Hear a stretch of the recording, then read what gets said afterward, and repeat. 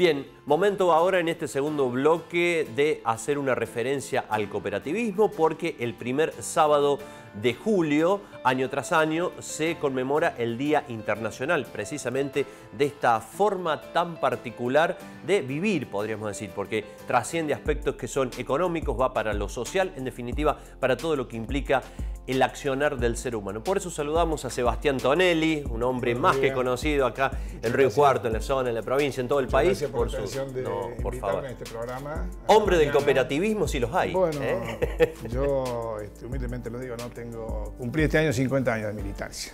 50 de militancia.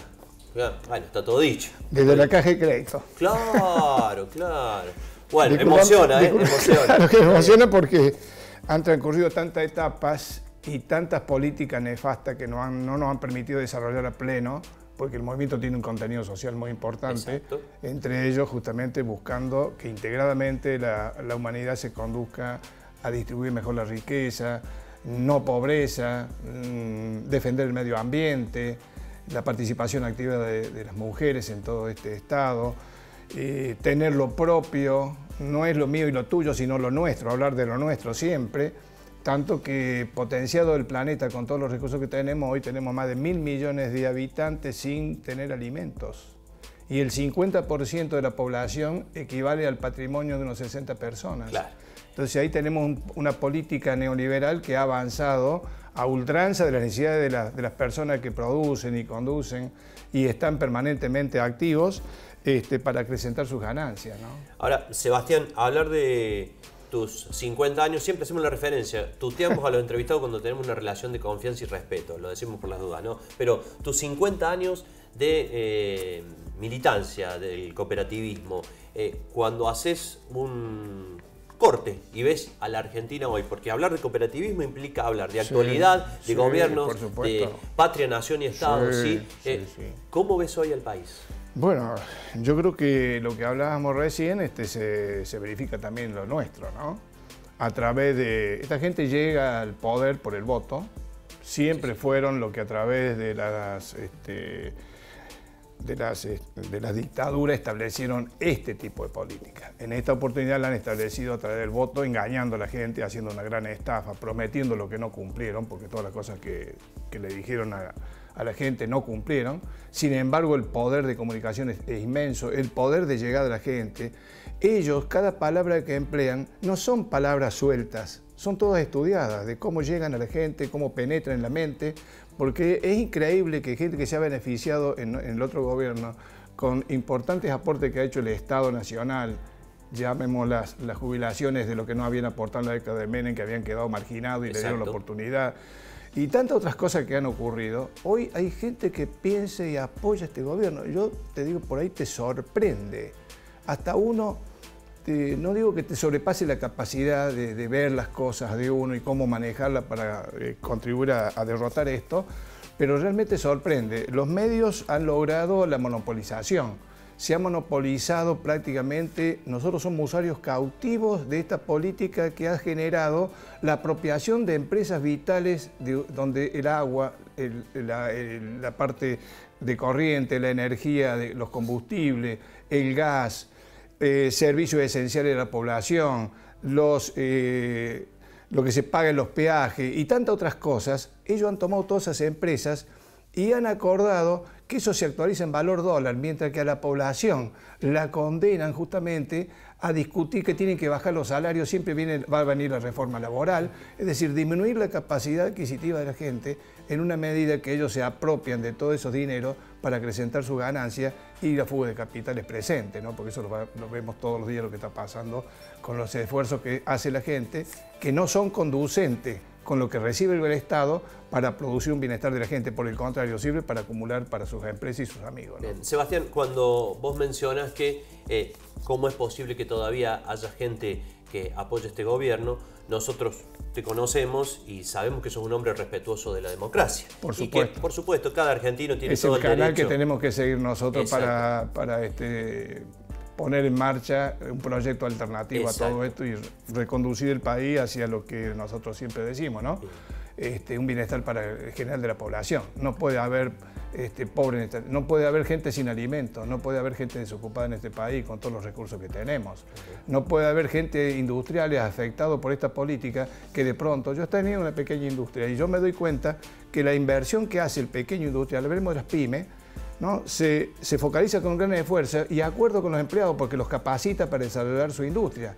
La industria cuando tiene en marcha su producción, directamente tiene que tener también un mercado interno que pueda, que pueda colocar sus productos. Si vos restringís el poder de consumo de la gente, se restringe el mercado interno, peligra estas pequeñas unidades que representan el 70% del empleo en Argentina. Y esto es lo que está ocurriendo, y más cuando vos liberás el mercado a que ingresen productos subsidiados de los países centrales. Entonces, este asunto que están hablando con Europa, a través del Mercosur, el acuerdo. va a ser nefasto para el país. Esto tenemos que tenerlo claro. Y yo pregunto en este momento, porque hay una muy buena intención de las pequeñas empresas, porque estamos en contacto, hablan con los empleados, che, a ver cómo subsistimos, están haciendo acuerdos para subsistir. Porque ellos también, el que ha, tenido un desarrollo de su vida en una pequeña empresa, la ha creado, la ha desarrollado, también le da, le da profundo este, malestar tener que dejar de hacer lo que ha hecho toda una vida, que ha construido, junto con los que lo acompañaron, que son los, los empleados también, y también todo el sector de la ciudad que ha comprado sus productos. Sebastián, en este panorama nacional que describís, eh, ¿cómo juega hoy el cooperativismo? ¿Tiene que redoblar los esfuerzos? Porque digo, no es una eh, situación simple.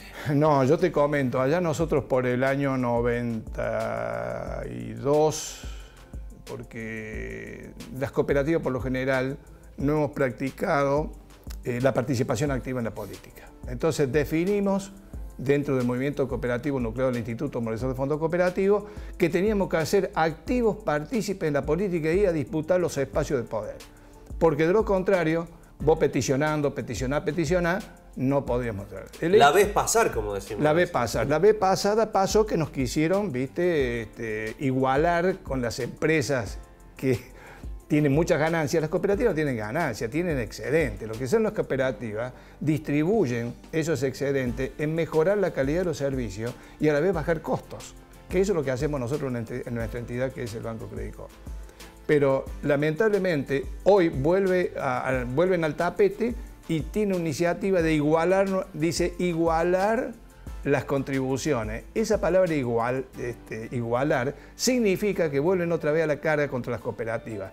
Yo pregunto, ¿qué empresa privada en la zona, en las localidades más chicas, están a cargo de la energía, el desarrollo del agua, de todos los servicios, de la luz? ¿Qué, qué privado? Ninguno. Son la gente que se acumuló, las comunidades que acumularon esfuerzos propios, desarrollaron las cooperativas y ellos mismos son los que generan todas las políticas de desarrollo en su ámbito, no solamente en las localidades, sino también en la región. Disculpa la pregunta, pero eh, es muy ingenuo pensar que lo mismo que sucede en las comunas, localidades, en nuestros queridos pueblos, pudiese suceder a nivel provincia, ¿por qué no a nivel país respecto de lo que es eh, el manejo de la energía? Pero explico una mega cooperativa en otras palabras. Suena ingenuo en el sentido de que los dueños hoy de la distribución, la generación previa, bueno, son las multinacionales. Pero lógicamente, pero yo te, digo, nosotros en el movimiento cooperativo, ¿por qué nacieron las cajas de crédito? Nacimos porque realmente este, muchas localidades del interior y en Buenos Aires mismo, pequeños barrios fundamentalmente, no había financiación. Para aquel emprendedor, para aquel pequeño que había comenzado su pequeña industria, no había financiación. ¿Qué hicimos los vecinos? Nos fuimos reuniendo, se formalizaron las cajas de crédito, acá en Río Cuarto le hicieron con éxito las vecinales, después nosotros tuvimos una continuidad, este, y fue una forma de manejar el dinero argentino en manos argentinas. ¿Me Llegamos a tener antes del golpe de Onganía el 10% del circulante. Todo ese dinero no pasaba por los grandes bancos privados especulativos, sino que pasaba por el manejo propio de las comunidades que manejaban sus recursos apoyando su desarrollo de las distintas, este, de las distintas entidades sociales, de las distintas pequeñas empresas, de los comercios, de las personas que estaban con créditos accesibles a, a las amas de casa, a los obreros, empleados. Esa fue la finalidad. Sin embargo, el poder de estos que están hoy en el poder, ideológicamente enfrentados con nosotros, fueron los que propusieron, a través de la Fuerza Armada, el golpe de Estado y aplicar las políticas neoliberales que después nos quisieron defenestrar. No pudieron, a pesar que en la dictadura de Videla nos condenaban a no subsistir más, desaparecía el sistema financiero, el movimiento cooperativo. Pero la gran fuerza, el potencial, las convicciones de nuestros dirigentes, empleados, funcionarios y las masas societarias, pudimos darse el brazo a Martín y Dios haciéndole este, definir a la CAL, ¿te acuerdas que eran las tres Fuerzas Armadas? que la forma cooperativa estuviera presente en el sistema financiero. Y hoy estamos presentes con la misma tónica, con el mismo esfuerzo y desarrollando la cooperativa en función de los beneficios de la cantidad de asociados que ocupamos más de un millón y que llegamos a miles y miles de pymes con nuestro servicio que no tienen los bancos privados. Perfecto, está clarísimo. Esa es la síntesis, Sebastián, respecto de lo que es el alcance de las cooperativas hoy en Argentina. Muchas gracias. El tiempo siempre es poco en tele, ¿sí? nos quedan más cosas para hablar. Te agradezco muchísimo. Yo te voy a dejar la declaración del instituto, donde dice otro mundo es necesario si realmente cambiamos este sistema este, nefasto que obliga a una exclusión social fenomenal en este mundo, inclusive la apropiación de las reservas esenciales del planeta y todo lo que conlleva, con eso. Perfecto. De nuevo, muchísimas gracias. Te vamos a volver a invitar para seguir charlando. Entre otras cosas, cooperativas que se recuperan con relación a empresas que cierran y tantas otras cosas más. ¿eh? Tantas otras cosas que están sucediendo y en buena hora que sucedan. Perfecto. Gracias, Sebastián. Un gustazo, como ¿eh? siempre.